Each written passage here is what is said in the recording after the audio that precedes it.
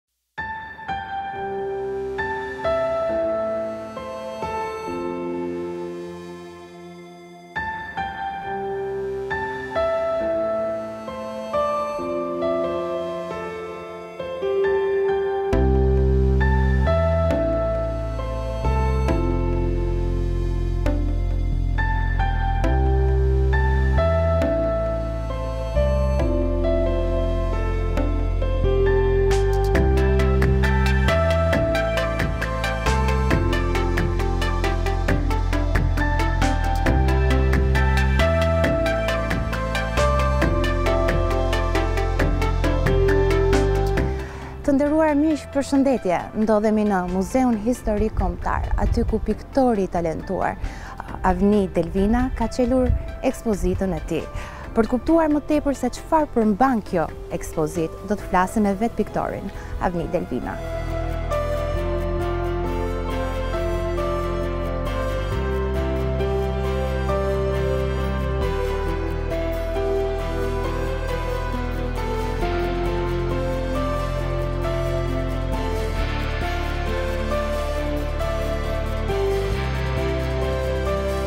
Përshëndetje, zoti Delvina. Përse zgjodhët pikërisht presidentin amerikan, përveç faktit që është një nga personat që drejton vendin, një nga vendet më të fuqishme të botës? Zgjedhja e tij nuk ishte diçka e momentit, erdhi në mënyrë natyrale dhe erdhi në një kohë të gjatë. Interesimi për Donald Trumpin më lindi që para zgjedhjeve të vitit dy mijë e gjashtëmbëdhjetë në Amerikë. Një kundërshtim i organizuar, i orkestruar, i lodhshëm nëpër media dhe gazeta kundër tij, i qëllimshëm në një masë që nuk suportohej dot as psikologjikisht, duke nisur edhe nga Italia, e cila është që është vendi ku unë banoj, nuk mund të hapje dot gazetën, se sigurisht domethënë do të dilte Donald Trumpi.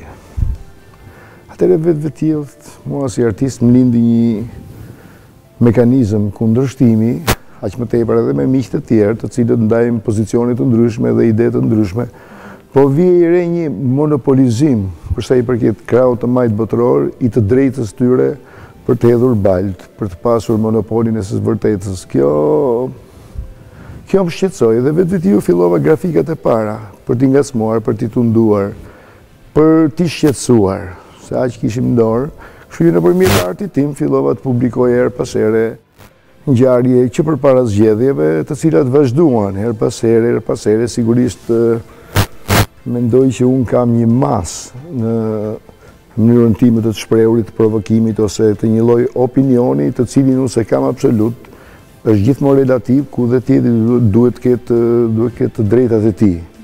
Kurse nga krahu tjetër jo. Domethënë është një vulë. Ne e kemi të drejtën. Unë gjithmonë të drejtën e kam relative.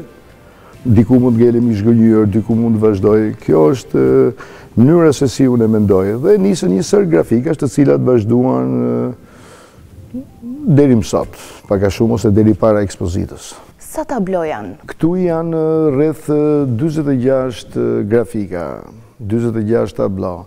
Numri dyzet e gjashtë nuk është i rastësishëm, ai është zgjedhur qëllimisht për të për t'i uruar Presidentit Trump dhe një mandat tjetër, pasi ai tashti është Presidenti i dyzet e pesë i Shteteve të Bashkuara të Amerikës, Kështu që neve vendosëm të bëjmë një porta fortuna, sigurisht, shpresojmë, dhe nëpërmjet numrit 46 të kësaj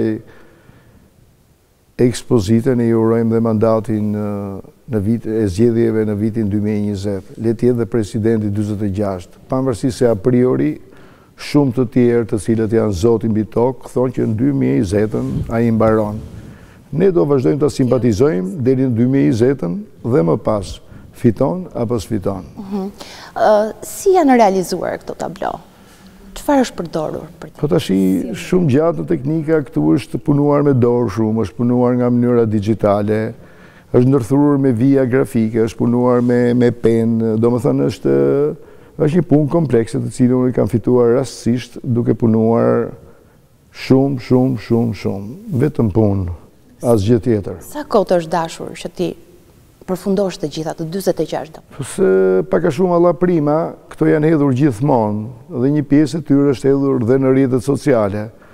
Por në momentin që me miq e shokë unë po përgatisja një album, Mbasi një mikesha ime amerikane më këshilloi, ke bërë gjithë ato grafika për presidentin Trump, fare mirë, mund t'i bësh një album, mos u bëj indiferent nisja, sepse është një punë edhe ia vlen domethënë një kujtim, një mirënjohje ndaj tij, gjithë kjo punë e madhe që ke bërë. Dhe unë vendosa fillova të përgatis albumin me një shokun tim këtu bile, ia solla me e-mail atij, po më përgatiste faqosje dhe do ia nisja nga Italia. Pastaj në Në kontaktet që pata kur erdha herën e fundit nja dy, nja dy tre ditë në Shqipëri, vendosëm me miq e me shokë më nxitën dhe më thanë, përpara se t'i nisësh albumin, do të ishte shumë më mirë domethënë të bëje një ekspozitë. Në fillim e pata me mëdyshje, por i arritën të më bindin dhe kështu që vendosëm domethënë të bëhet ekspozita dhe është më komplekse, më e kompletuar Dhe pastaj ne do t'i nisim albumin. Zgjodhët Shqipërinë, por a keni ndërmend të hapni edhe një ekspozitë të tillë me këto tablo në Itali? Sigurisht, mund të hapet në disa shtete, kjo është perspektiva, të paktën dhe me njerëzit që më mbështetën, që më ndihmuan, më bindën dhe më janë pranë, sigurisht kjo është perspektiva. Shpresojmë të shtunën do të bëhet një ceremoni mbyllje dhe Mund të shpallim dhe datën kur do të hapet në Kosovë. Mbasi të mbarojmë punë me Shqipërinë tonë të dashur, më pas pastaj na do të vazhdojmë të shpresojmë të hapet dhe në vendet tjera. Nëse vjen në këtë ekspozitë dhe sheh diçka, një nga tablot që dikujt i pëlqen shumë dhe do ta bëjë të vetën, do ta ketë ta varë në murin e shtëpisë së tij. Tablot shiten? Unë nuk i shes. Nuk i shes. Tablot e mia nuk i shes, këto nuk janë për anë komerciale, kjo është diçka psikologjike, shpirtërore, është një realizim tim. Anën komerciale e kam zgjidhur në Itali ose në punë të tjera. E ke një punë personale. Kjo nuk, pra. këto nuk shiten. T'i hedhim një sy të kuptojmë më tepër se çfarë do të thotë. Patjetër. Patjetër. Secila prej tyre. T'ia nisim me arkën e Noes, për shembull. Arka e Noes, sigurisht është e bazuar në historinë e famshme të Noes. Mhm. Në këtë rast, në planin e parë, janë protestues, sigurisht organizuar shumica. Mua më ngjan si teatrino, si teatrino, të cilët protestojnë kundër presidentit Trump në çdo rast, në çdo formë, si me buton. Në këtë rast, ai është Noeja, presidenti Trump, i cili vazhdon ndërton arkën, mesazhi i shpëtimit, mesazhi i një shprese, mesazhi i një oksigjeni, dhe në këtë rast, Të jemi realistë, nuk e di, po bota më përpara kishte filluar më dukej e mykur, po jo vetëm unë, po shpesh edhe me njerëz të cilët banojnë në Amerikë, kishte një lloj, ishte pak pellg, nuk kishte impuls. Ardhja e tij, dikush më tha çfarë ka bërë presidenti për ju o se më dha impuls, më dha entuziazëm, më dha oksigjen. Këto janë elementë të cilët për këto ka nevojë njeriu. Pastaj jetën time do ta rregulloj unë, nuk ka ndërmend të vijë presidenti Trump të merret me po. Nuk e di po po qesh me pllakat e sheshit Shqipërisë ose të sheshit Skënderbej. Kështu që ai njeri transmetoi impulse pozitive, për të cilën mua më mungonin personalisht, po dhe shumë njerëzve që unë njoh. Ë, shoh këtu që ka no to racism, no to Trump, është edhe flamuri i Bashkimit Evropian, Po elementë të ndryshëm, protesta të ndryshme, të thashë, mua më ngjan si teatër, nuk është diçka shpirtërore, nuk është diçka që lind në popull, gjithmonë gjëra të mekanizuara, të organizuara, të orkestruara kundra tij. Kjo e lindi dhe revoltën, se s'kisha pse merresha, vetvetiu e bëj në një farë mënyre, unë vendosa ta kundërshtoj këtë dhunë mediatike, gazetareske, Gazetareske që i gjeje kudo. Kjo është arsye. Po, për të kaluar te gazetareske, unë pashë këtu CNN, po, New York Times. Sigurisht, kampionin e mban CNN-i me parashikimet, me parashikimet e ekzagjeruara, me lajmet e tepërta, me lajmet deri në neveritje. Siç i quan Trump, fake news. Dhe vetvetiu më ndjen, domethënë, Të paktën e humbi atë respektin që ne kishim dikur për CNN-in. U vu në funksion të një qëllimi për mendimin tim gjithmonë dhe jo të së vërtetës. I njëanshëm. Padiskutim në mënyrë absolute. Pashë zonjën e parë Melania Trump, Sigurisht, një grua po, jashtëzakonisht elegante, po tregon që është një person jashtëzakonisht pozitiv, paqësor, dhe unë vendosa e transformova si Xhokonda, Duke i ndërruar sfondin dhe duke i vënë mbas Shtëpinë e Bardhë, kjo është ideja, një lloj vlerësimi për vetë natyrën e saj pozitive, paqësore, person që transmeton mirësi, pozitivitet. Tjetër, financat, Wall Street. Sigurisht, simboli i Wall Street-it, Demi i famshëm. Demi i famshëm, po, simboli Wall Street. Të gjithë jemi dëshmitarë të një force që ka pasur Amerika, qoftë në rritjen e punësimit dhe qoftë në financë, kështu që vetvetiu transformova dhe atë simbolin e bëra me fytyrën e presidentit Donald Trump. Pashë presidentin Trump më duket se ishte me George Soros. Beteja e famshme, beteja e famshme midis dy personazheve ku sigurisht George Soros një protagonist i fuqishëm i Amerikës edhe i edhe i politikës botërore, dhe këtu janë shoqëria e hapur dhe shoqëria e fortë. Kjo është ideja që kam transformuar unë po. në këtë grafikë. Dhe Sigurisht Obama dhe Trump që ndeshen me një skulpturë të famshme të cilën e kam transformuar me këto dy personazhe lufta për pushtet, elemente të këtij lloji. Po, kalojmë tek një tjetër. Kjo është interesante, në qoftë se e doni shpjegimin. Kjo është ndërtuar me kapela Sistina. Kapela Sistina në Romë. Atëherë, elementi kryesor këtu është Izraeli. Me Jeruzalemin kishin 30 vjetë që me në shimë e tjera e tjera. Donald Trump, këtu është në rolin e Zotit, dhe është muri i lotëve në Izrael, ku ai shkon dhe Unë e transformoj, nuk prek më Adamin, siç është në Kapela Sistina, po ai firmos në mur dhe e shpall Jeruzalemin, dërgon dhe ambasadën. Dhe kjo quhet Jeruzalem dy mijë e tetëmbëdhjetë. Cila është e preferuara juaj? Sepse e preferuara ime është Manifesti. Manifesti e Van Gogh. Flasim pak për këtë. Kjo grafikë, unë e kam këtu është e stampuar. Kjo është titulluar Vincent Van Gogh i politikës internacionale. Pse është, ka një histori shumë të veçantë. Shtëpia e Bardhë, me sa lexova disa artikuj, ka të drejtë ose presidenti të marrin me qera vepra arti të cilat ndikojnë pozitivisht kur ata i kanë pranë tyre dhe presidenti Trump në Guggenheim Museum, më duket, Bashkë me bashkëshorten e tij, më duket. Porositi një vepër arti, porositi një pejzazh, jo shumë të njohur të Van Gogut. Kuratorja, kuratorja kryesore, ose njeriu kryesor i Guggenheim Museum, sigurisht një antitrampiste, është e drejta e saj, mhm. për mua bëri një gjest banal, për të krijuar efekte, për të dhënë një lloj konsiderate të dobët për mua, ajo ç'bën i kthen përgjigje Shtëpisë së Bardhë ku thotë që unë thotë ne nuk nuk e kemi më disponibël Van Gogun, por kemi disponibël një vepër të autorit amerikan me origjinë italiane, Maurizio Cattelan, i cili merret me instalacione, po. dhe ajo i dërgon fotografinë e një WC-je që ka bërë ai prej floriri. Me ar, po. Asnjëherë s'më kanë pëlqyer këto gjëra, më kanë shqetësuar, sepse banaliteti nuk çon drejt pozitives. qoftë nga njëri krah, qoftë nga tjetri, atëherë unë besoj se jam treguar shumë më tepër dhe jam i bindur, s'kam nevojë për aprovim, se sa kuratorja e Guggenheim Museum, unë këtë gjest të dobët të saj vendosa ta kundërshtoj, Ishte një gjest që, po, bëri bujë në media. Bujë në gazeta, po, e tjera dhe gëzim i madh që ajo bëri këtë. Po. E me kë? Me presidentin e Shteteve të Bashkuara të zgjedhur demokratikisht. Meqë ajo pikturë nuk mbërriti n'Shpinë e Bardhë, Unë në atë botën time të vogël ndërtova dhe interpretova në mënyrë Van Goghiane portretin e tij, po. me gjestin që shpesh ai përdor të OK dhe e titullova Vincent Van Gogh i politikës internacionale. Shumë domethënëse, shumë domethënëse, shumë e bukur. Me miqtë e mi u konsultuam dhe vendosëm që të jetë edhe manifesti dhe në fund jam i bindur që bëmë zgjidhjen e duhur.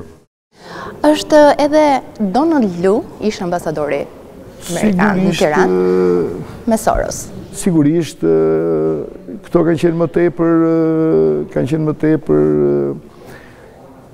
kanë qenë influencuar nga mm, raportet që ka dhënë Judicial Watch, me Tom Fitton. Tom Fitton, Ka bërë po. një dy tre raporte ai, ku sigurisht ka vënë në krizë raportin midis Soros dhe Donald Lu e tjera e tjera. Kështu që i influencuar nga ato raporte, unë bëra këtë grafik. Dhe këtu ke edhe këtë grafik tjetër, që është një ndër 12 trimëritë e Herkulit, domethënë është zgjedhur ai element edhe është bërë ndeshja e Tom Fitton, Me George Soros. Presidentit me George Soros, beteja midis titanëve, ose beteja midis... Beteja e titanëve. Po. Por për fjalimin e Robert De Niros, mbi... Po, shumë i ekzagjeruar. Desha t'ju them, po i kisha bërë një dy tre herë, i ekzagjeruar deri në ordinerllëk, mendimi im gjithmonë. S'ke nevojë, pse duhet ta ekzagjerosh shumë, shprehe pozicionin tënd kundra, Jemi të lirë, mendova, sigurisht, po pse mos rrimë të edukuar, pse duhet të kalojmë me banalitete. I kam bërë dhe këtë grafikë Robert De Niros, po, pikërisht në atë kohë që tha në qoftë se fiton presidenti Trump, unë largohem nga, do të largohem drejt Italisë, vendit të origjinës të të parëve, dhe këtu i kam bërë Radio Amerika. New York Times i famshëm se dhe ai ka qenë në funksion total të krahut tjetër në mënyrë Trump triumfon e shoh Trump triumfon edhe Robert De Niro po të shikosh pavarësisht si element xhaketa e tij është bërë me flamurin italian mhm. ai qan ka pak tim i tronditur dhe largohet drejt Italisë po këtu faktikisht Emërtimi është hollivudiani që nuk mbajti premtimin për t'u larguar nga Amerika. Domethënë bëhu dhe burrë. Mhm. Për shembull në qoftë se do ishe prononcuar, po largohu. Largohu njeri ju. Për të treguar dhe ktheu, kur Trumpi s'do t'jetë më, Amerika është demokraci, mas 2 vjetëve, mas 6 vjetëve, tjera e tjera, do vijë një ditë, ka limite Amerika, nuk është si Europa që mund të vazhdosh 50 vjet. është edhe një tablo që shoh presidentin Trump duke ecur në sheshin Skënderbej. Ajo më pëlqen tepër dhe dua ta di se çfarë Kjo është tablo që unë mendoj nuk ka nevojë për shumë fjalë. Prandaj dhe njerëzit kërkojnë shpjegime. Sigurisht unë mund të jap, mund ta shpjegoj në dhjetë versione. Mund ta kthej pozitive, negative, e kam atë fantazi si natyrë, qoftë me fjalë dhe qoftë me vepra. Kjo është titulluar Ftohtë në Tiranë. Sigurisht unë nuk ndjej në Tiranë ndonjë simpati dhe mund të themi simpati ose atë dimension që duhet të kishte ndaj presidentit Trump. Kështu që unë në këtë rast Këtu e kam marrë sheshin Nënë Tereza dhe e kam sheshin Skënderbej dhe e kam ngrirë, e kam transformuar me akull e tjera e tjera dhe e kam bërë të vetëm. Tregon vetminë e tij.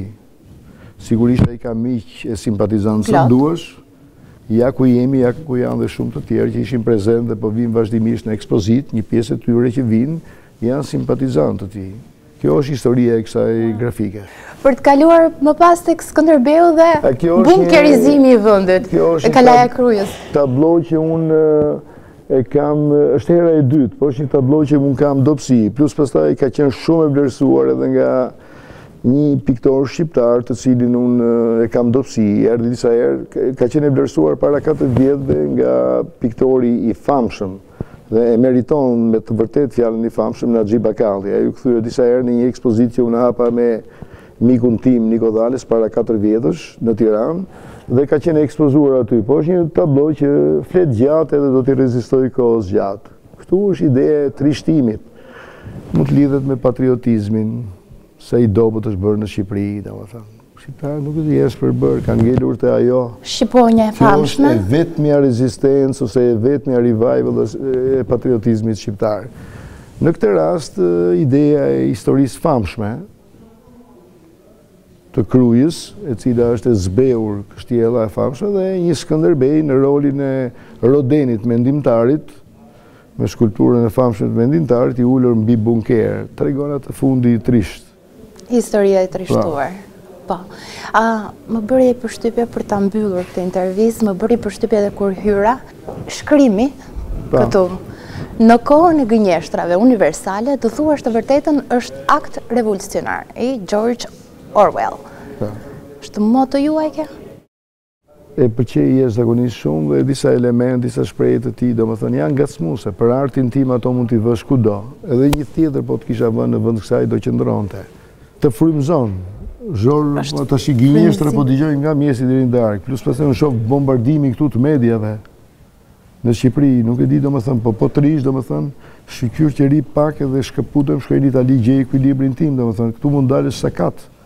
Nga mënyra se si bombardojnë mediat, mënyra këtu është nuk e di domethënë, çdo lloj truri sa do inteligjent të jetë, këtu bie viktimë.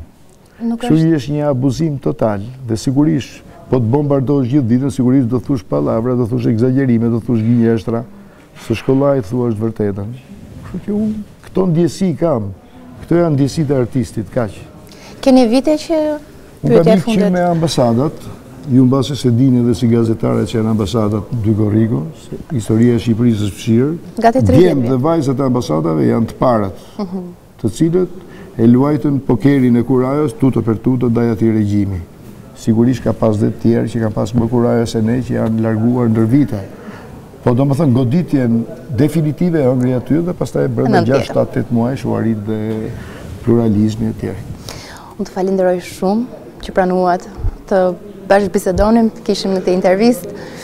Shpresoj më të mirën dhe të na sjellësh vepra akoma si këto dhe më të bukura. Të shpresojmë mbas disa vitesh, mbase t'ju sjell një rrugë, një tjetër. Duke ndetër këtu, keni ndonjë projekt tjetër?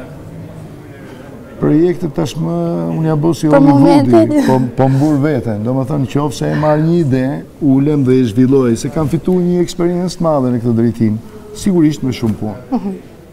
Të shpresojmë që Zoti të më japë energji, miqe, shokë, artdashës dhe të jem në një ambient komod.